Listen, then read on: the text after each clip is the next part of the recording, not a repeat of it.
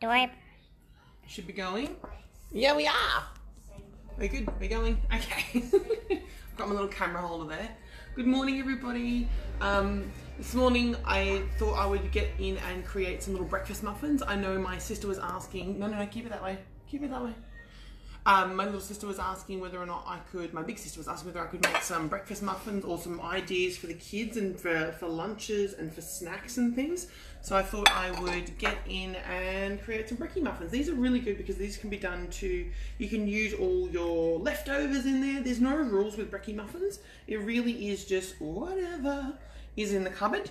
So what I've done is I've actually a little array of different things here. We've got some some chopped kale. I've got some ro leftover roasted sweet potato and pumpkin that I'm going to make a dip with later on today. I've got some chopped up cabbage. I've got some steamed um, broccoli here and broccolini. I've got some carrot. Um, I didn't chop up yet, but I will because I'm going to make a sweet version. Is just a couple plums.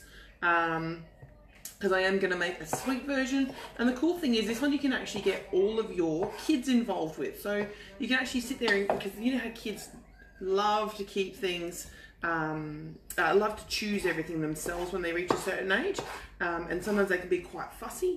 So it's a really cool idea with this one is to actually give them the opportunity, create the board, give them the, the tins and get them to actually make the mixture themselves. So um, in this one, you can use all kinds of concoctions. You can use, if you can have dairy, you can have dairy. If you can't, you can't. I will grab a little bit of spinach, which I forgot. There you go. So, what you do is just go through and randomly place different ingredients in different spots. And it's kind of like creating a little cute board. And if you guys are making these in the next couple of days, I would love to see your creations and your versions. So just going along, I've got some kale in there. Oh, it's still sitting. There we go. If you can have cheese, you could put some cheese in a couple of them. I've got some chopped up basil here. I'm just to throw through. Katie, watch what they're doing with the camera. Wandering off with it. Some chopped up shallots out of the garden. Or green spring onion. I've also got some garlic chives here. Lots of herbs. Right now it's super important to be having lots and lots of herbs. Chinese herbal medicine wise, while the world is in chaos, our best defense is actually wonderful herbs. They are all incredibly valuable uh, for medicinal purposes. You guys are getting taken on a bit of a trip there with Cadence. Some sweet potato in a couple of them. some pumpkin. Let me know if anyone says anything on there, Katie. What I would love, guys, is if you have things that you would like me to help you guys with, like some different ingredients or um, different styles of cooking or anything like that, please feel free to request things or give me some um, something that you would like to use, like me to fill in.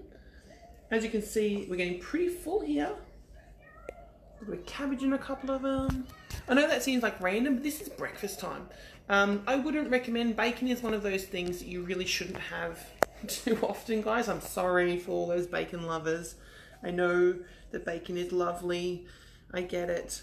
But um, it's one of those things that should be a sometimes food and celebrated rather than a frequent food. The other thing I'm going to do that might be a little bit weird is um, I have a couple dips um, that I got the other day. And so you can totally, there's no reason why you cannot throw a little bit of a dip in the middle for some yummy flavor. Like a little, little pocket of deliciousness. There we go. And then what I'm going to do is I'm actually going to make a sweet version as well.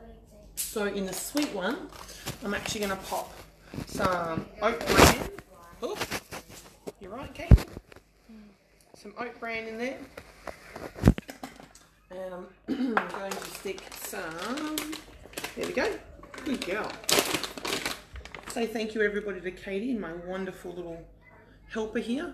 I'm going to throw plums in there because I know plums are um, very, very high on my list for nutrition right now. The, the red colour of it is incredibly beneficial for the heart, for circulation. I've got some fresh homemade cinnamon here. which I just blitz down all of my quills.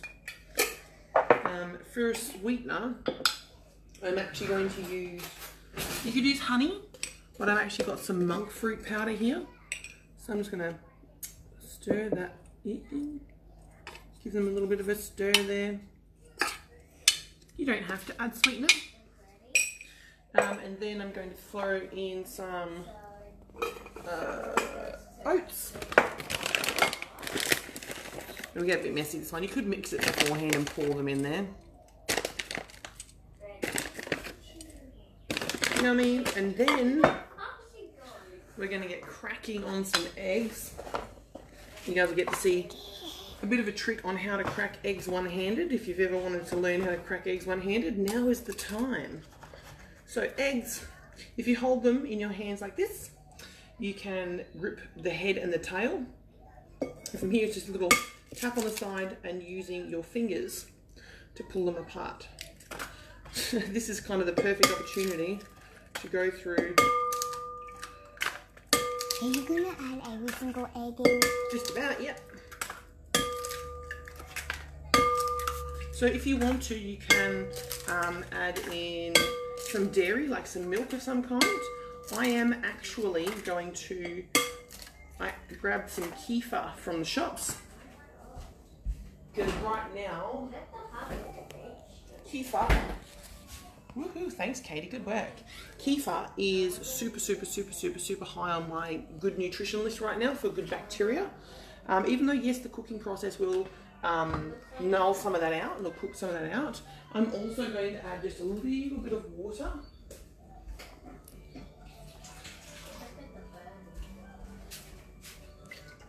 There we go. I'm going to whisk it.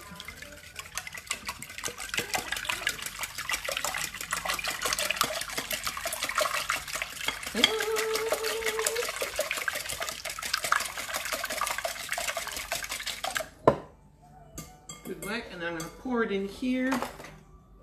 Just a little bit because, where are you going, love? Where are you going? You're taking everyone on a, on a bit of a journey there. They'll get dizzy. I'm going to pop these ones in here. Oh, yeah.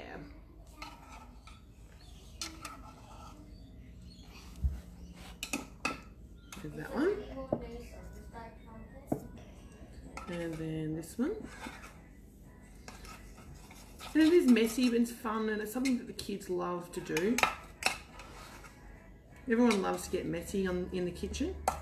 I'm going to add a little bit more cinnamon, just because I love my cinnamon. You could also add nutmeg to these as well.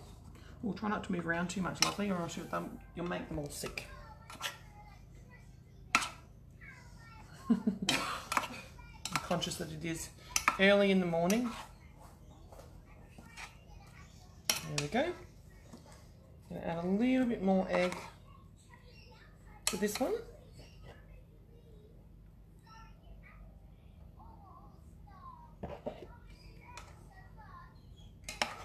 Yum, yum, yum. And then what I'm going to do is finish this one off with a couple pieces of plum. So plum, cinnamon and oats. These are really, really high on my list for the moment. Um, one definition is that I did use oat bran, and oat bran is just the really high fibrous parts of the um, oats. Let me just see, someone is asking a question. Looks nice, still on broth. We'll look at something along the line for the rest of the family. Yes, this is a great one, Adam. Um, I'm glad you're still doing your broth detox. It's wonderful. Um, Guardian health types are the health type that their detox is incredibly important um, for relaxing the gut and releasing a lot of heavy toxins and things like that. So it's super important to for a guardian to do a detox like that. And if you're someone who's watching this and you would like to understand what that is, um, you can reach out to me and find out if you don't know what your health type is already. You can reach out and we can get your health type sorted so that you can understand what is actually a good healthy detox for you, and maybe um, what are some pointers and tips on what to eat and what to do and how to look after your body specifically for you. Let me give this back to Katie now. Hold it nice and steady for me, honey. So now I'm going to add in some salt and pepper. Um, if it's just for you and it's not for the kids, then you can add in some chili. You could also add in some, um, some, oh, what else? We could add in some cumin. We could add in all kinds of flavours. Some little bit of salt. Give that a bit of a mix.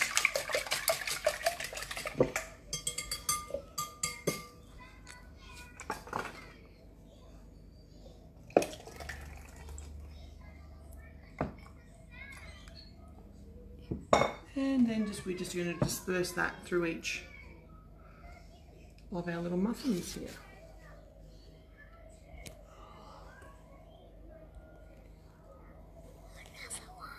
Another question?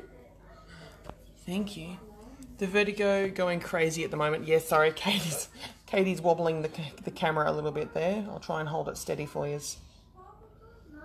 If you wobble the camera, Katie, it can make people feel a bit sick. There we go. Filling these ones out and educating children at the same time. How wonderful.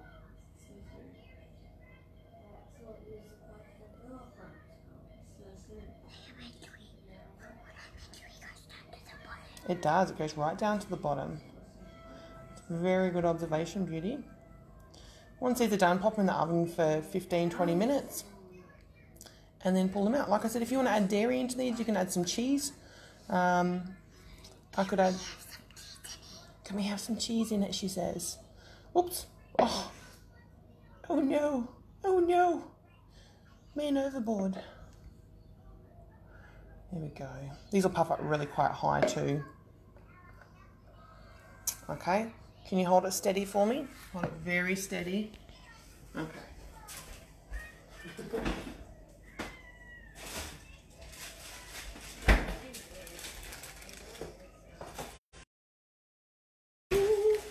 Parmesan and cheese, it depends on what cheese is going to be good for you. If you've got that, Does that mean I have to hold it very still? Yeah, good girl. That's exactly right.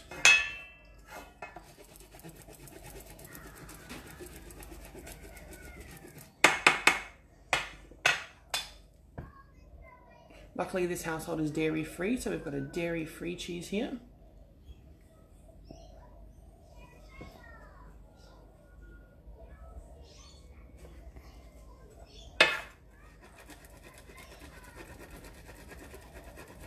Does this mean you're gonna maybe eat some of this, Katie? You gonna try one? We got a yes. We got a yes, we got a win. Katie is super particular with what she likes to try and eat. So I am very happy, Katie. It's what, what?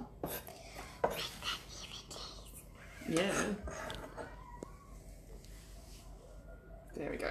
All right. So we're just gonna pop these in the oven. I'll show you guys a photo later once they're done. And um, yeah, enjoy. I'd love to see your recreations, um, see your versions of it, share it with the group. Um, sharing is caring, and in times like this, it's little bits of inspiration that can help others get through. And it really is important. I think cooking like this makes you feel good. Um, it brings a bit of joy and happiness. Oh, and for those who didn't get to see it earlier, the cookies that we made yesterday. If you haven't had a look at that recipe yet, jump back. Here are those cookies. They are nice and heavy and divine. They taste wonderful, absolutely wonderful. These were delicious. So go back, find that recipe, and um, tell me what you think. See what? Let me know which creation you ended up having. Um, let me turn you around. What was your creation? Give the biscuits a go and tell me how you go with it. Make sure you taste it before you put it in the oven and just see if you need some other flavourings, other spices or anything like that. Um, let me know your thoughts. Mm, mine turned out great. Have a great day, guys. Happy Monday. I hope you're all getting ready for a great week. I hope this is going to help with some snacks and some stuff to keep the kids um, entertained. If you have any recommendations or anything that you want me to create, maybe you want some more lunchbox things, maybe you want some more dinner ideas, some other breakfast ideas, whatever you like. Let us know what you would like and allow me to serve you all with some cool ideas. Thanks, guys.